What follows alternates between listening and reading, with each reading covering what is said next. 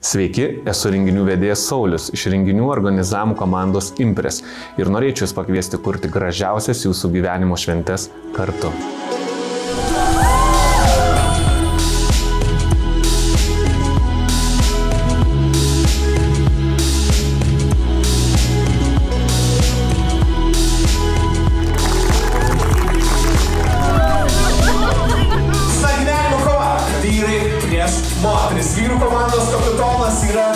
nes kitas yra mūsų šilakrio lygis Petras, o dar mums merginų komandos kapitonė mūsų nuostabioji.